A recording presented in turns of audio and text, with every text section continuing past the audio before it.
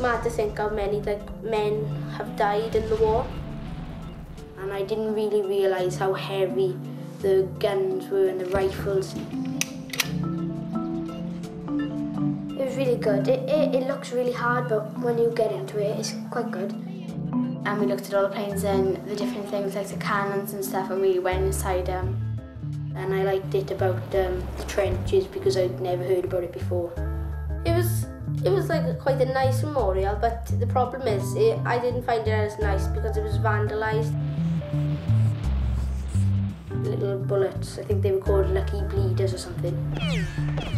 We made some clay models and we were doing little statues and, you, and I couldn't imagine trying to shoot people with that. We went to a classroom where they had all artefacts. Zombie sort of things. I did the clay thing when you when we were printing like the poppies and the flower and the leaves onto it.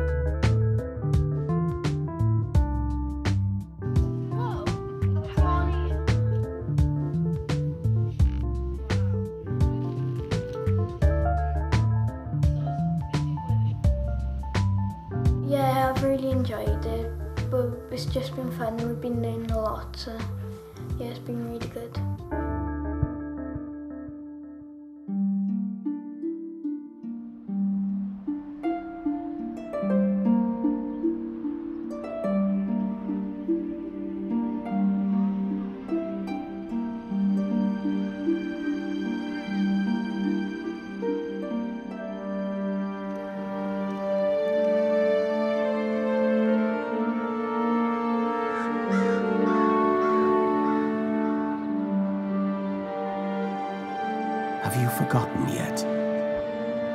For the world's events have rumbled on since those gagged days, like traffic checked a while at the crossing of city ways.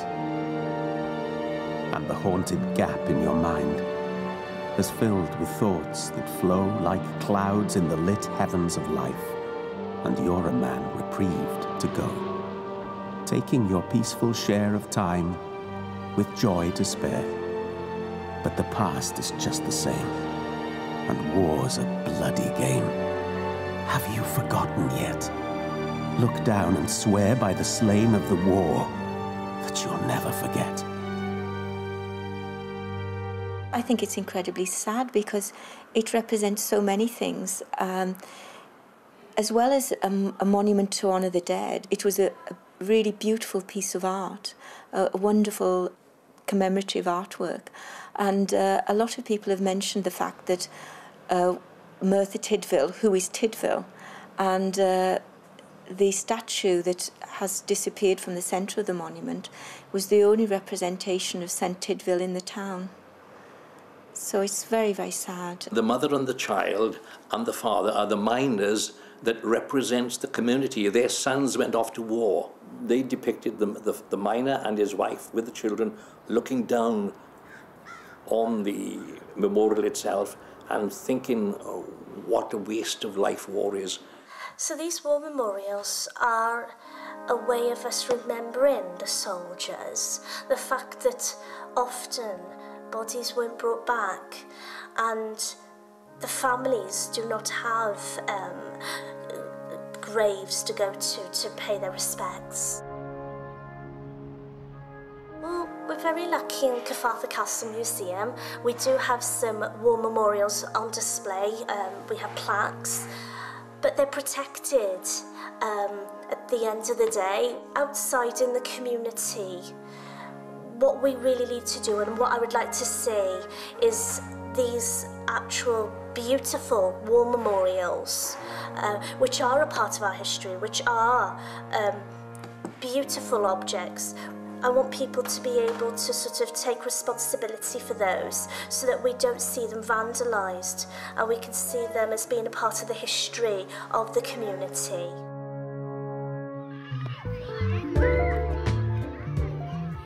Children from Merthyr were given the chance to take part in a project where they would make an animated film about their local war memorial. Well, it was a very exciting project. The project was going to bring, bring to life um, something that can be quite dry. The, the planning stage meant that we could look forward to using experts from other fields coming into the school, working with the children and doing things that we wouldn't normally be able to do. We're, we're called Kinetic. Um, we're a, an animation company. Um, we do commercial work, but we also work with groups of young people, find a local story um, or subject matter, and we make a film, animated film. We decided to make a film about the Pont Morlais uh, War Memorial. This particular uh, memorial at Pont Morlais has, is, is, has been very neglected over the years, and um, so it seems, it seems to be quite a sort of powerful symbol of how war is forgotten. The project sort of included lots of workshops with, muse um, with museums, talks, um, visits so the kids could get a real understanding of the sort of impact of war and, and the idea of remembrance really and why these memorials were put up. We went up to Kavatha Castle and we looked and we went up in the hall. Like we made like sculptures, um, like little memorials and that for the people who died and we made like lots of people, soldiers, sculptures and with a big um, cross on and poppies around it. I wanted to produce um, a sculpture which each individual child would produce, whether it was a symbol, um, a soldier's name, and hopefully get a greater understanding about why we have these war memorials and why we want to remember the people who were involved. Can you tell me what yours is? Um, it's a cannon. Sorry? It's a cannon. A cannon. And can you tell me why you've chosen a cannon? Because there, in the war there was people using cannons to fire the enemy. Do you recognise that model? Anybody? Can you see, see anything different about this model compared to the, uh, the finished monument? Have a look. The angel's missing, that's right. I think it was damaged, so it was all part of the damage. People were doing things to that monument for a long time. Nearly all of us, when we look through our family history, we've all got someone who's been involved in the war and make them realise that these monuments are about their families, uh, the people who lived in their communities, and the fact that the past make it more real, more tangible, something that you can touch rather than uh, a bunch of facts and figures. I grew up on Gurnos Estate and then uh, I moved away to London for about eight years and then I, I've lived in various... We had uh, an author who was originally from Merthyr come into the school to work with the children on writing poetry on the First World War and he made them really think about the sort of emotions uh, that the, the people during the war were going through. I am the enemy you killed, my friend. I knew you in this dark. I think, uh, first of all, we were trying to raise consciousness of, of what war actually means.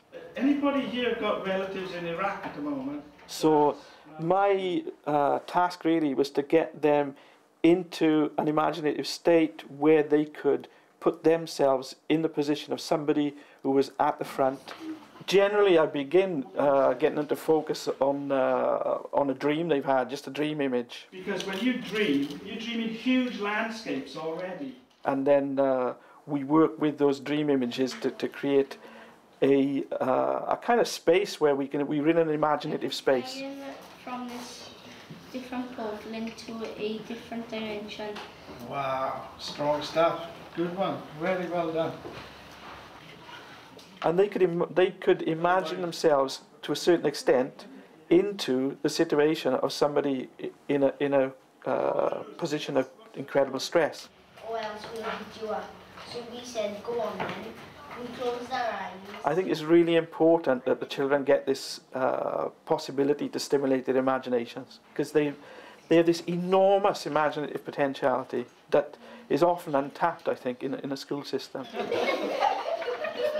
Whether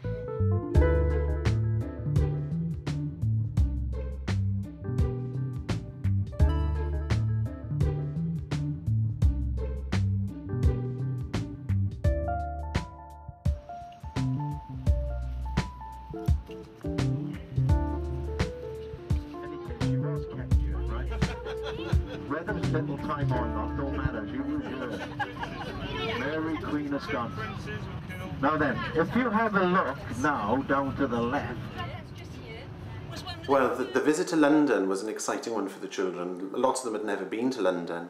But there was great excitement as the children got off the coach and saw HMS Belfast on the River Thames. And they couldn't quite believe that this is where they were going to be staying. Uh, we got onto the boat and we were immediately met by the staff who took us to the uh, sleeping quarters, which again caused great excitement. Uh, and then we had a tour of the boat. And imagine having your appendix out when the ship's doing this. Oh. So, um,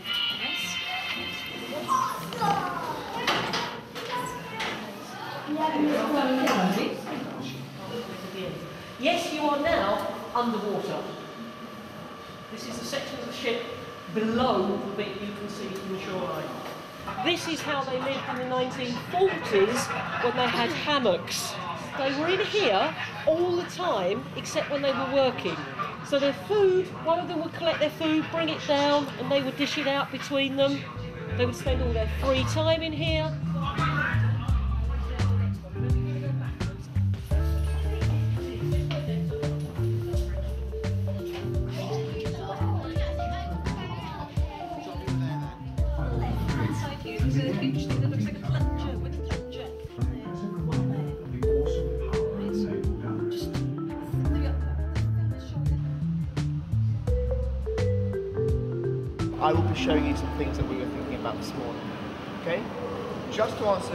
One question, yes, it's all real. How many men do you think got inside one of these things? Yeah. It was sort. It was quite interesting because um, when we went to the War Museum, I wasn't really expecting to learn anything new because I didn't really know that it was gonna. We were gonna learn about uh, uh, the amount- the amount of stuff that we did. Really hot. What can you tell me about World War One? Yeah, at the back. It ended in 1918. It ended in 1918, okay. It must have been a surprise to people in the summer of 1914 to go to war. Why? Why do you think it would be a surprise, yeah? Because they weren't expecting it. Yeah, they weren't expecting it. Australia was part of Britain, Canada was part of Britain. I liked the, the fact that we had a man t- um, telling us more, and we and I liked it about um, the trenches because I'd never heard about it before. And the mud with the puddles and the water could suck a horse and a gun down in about half an hour. So why, why on earth would you fight a battle there? I want you to look at why these men have got their hands behind their backs, behind the back of their heads when they come through. So I'm now going to pass this on. The Imperial War Museum, that was quite good. Um, we went to a classroom where they had all artefacts and then it, the man there, Grant, he told us all about the artefacts and what they were used for and why they were used. You unscrew that. Put it. And I didn't really realise how heavy the guns were and the rifles, and, and I couldn't imagine trying to shoot people with that. Trying to just hold it up was a bit of an effort. I've just learned like how, what it would have been like down the trenches, like the smell of dead people and all shell shock and all that sort of stuff.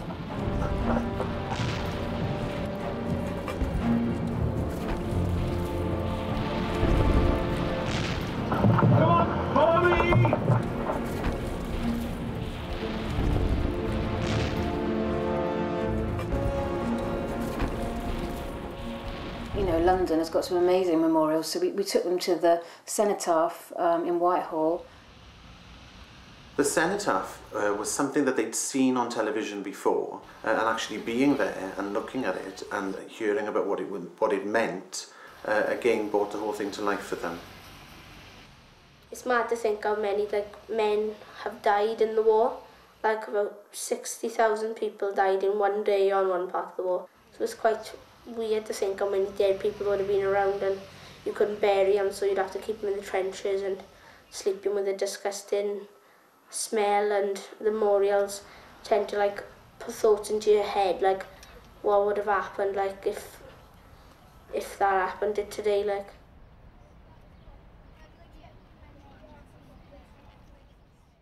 But when they came back to school, having visited London, uh, they were very keen to get on with the work.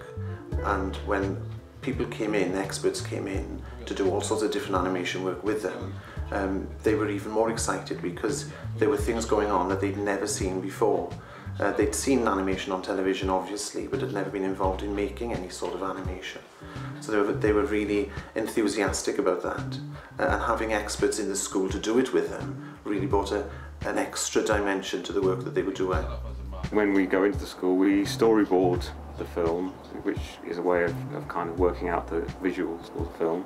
Following that, we kind of create the animation in the school, uh, working directly underneath the camera with different materials, sand, drawing, uh, cut out, and we produce the actual artwork with the children. What we wanted them to do actually was look at um, war artists uh, from that era. We were particularly looking at um, Otto Dix, uh, he's a German artist from the First World War, and he really did some amazing pictures of his experiences in the war.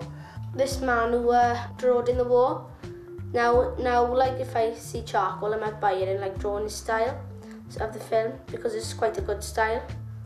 As you said, like it's not too neat or it's not too tidy, so it sort of puts the emotions into the picture. Yeah, we've done um, loads of drawing with charcoal, and we had to do loads of pictures. We've done some sand animations. Well, sand animation is a way of creating animation directly underneath the camera with the children and they see the results straight away so it's you know it's quite kind of exciting in that way it's good for certain kinds of subjects so this because this was about war and a lot of it was at night you know in the trenches kind of thing it was the sand animation was quite a suitable medium it was really good. It, it, it looks really hard but when you get into it it's quite good. You use your finger and you look on a computer. Use uh, either some pencil to make thinner lines and you light you got to light it up.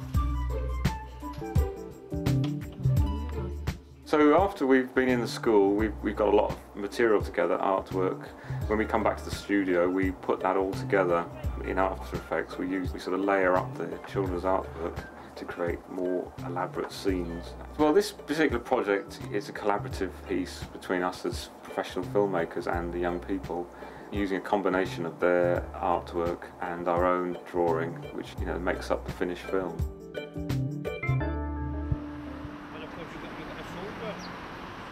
The children then went to the Pont Morlais Memorial to meet George Gardner from the Royal British Legion. He told them all about the history behind the memorial. During the war, everyone was devastated in Europe. It was really vandalised, it was really bad. I, um, the main statue had been taken away and lots of people drawn on it. I felt a bit sad that it had been vandalised in the way it had because um, Merthyr hasn't really got many memorials to remember the war.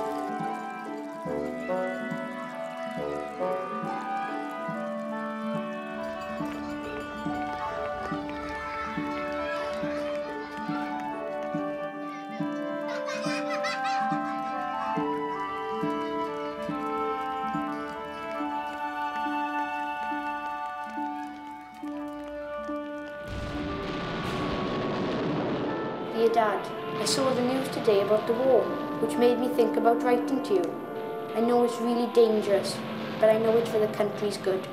I hope you're safe and well, and the war will end soon. from your loving son, George.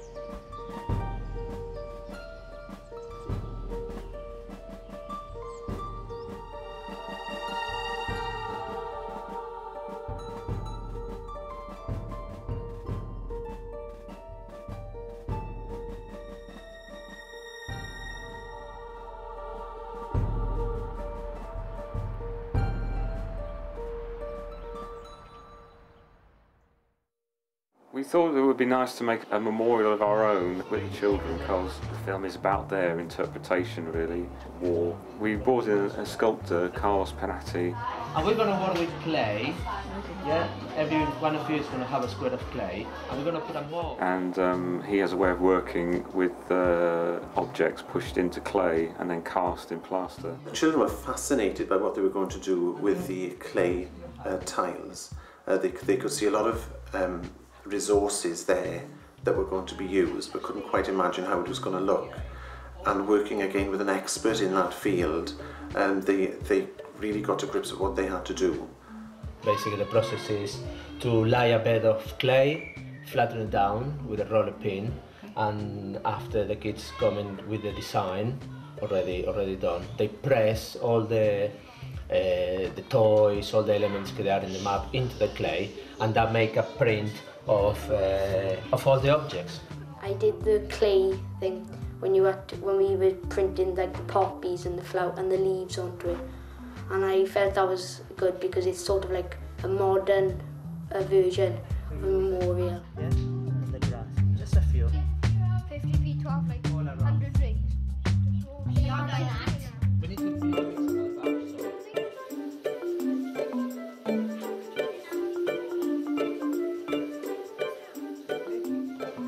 Square with the design. And basically open them all, clean it up a little bit. Open them all when they're coming. And what you have is a relief of the square in the map. Well, they'd all been making their own individual tiles, and then when it was pulled together to make the one large memorial, um, they were absolutely thrilled. They couldn't believe that all their little bits of work had come together to make such a large memorial um, that was quite stunning to look at. Would you like to see this memorial somewhere in Merthyr? Yeah. Yeah. Where do you, th- where do you think we might want to put it? You could put it um, inside the library. Library, yeah.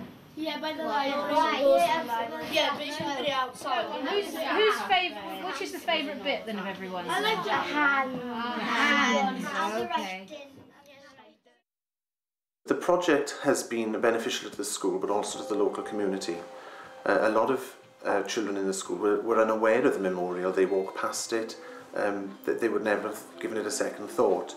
Um, also, the children have gained so much from working with people who are experts in their field and shown them new techniques and new ways of working. They would not have known how to do certain things had it not been for the project. Well, I haven't done it before. Like I like I have made like little films and that on my computer, but it's kind of weird because we're gonna like draw pictures and then like make um sort of draw pictures and then just make them animate and come to life. Um, yeah, I've really enjoyed it. But it's just been fun. We've been learning a lot. So yeah, it's been really good.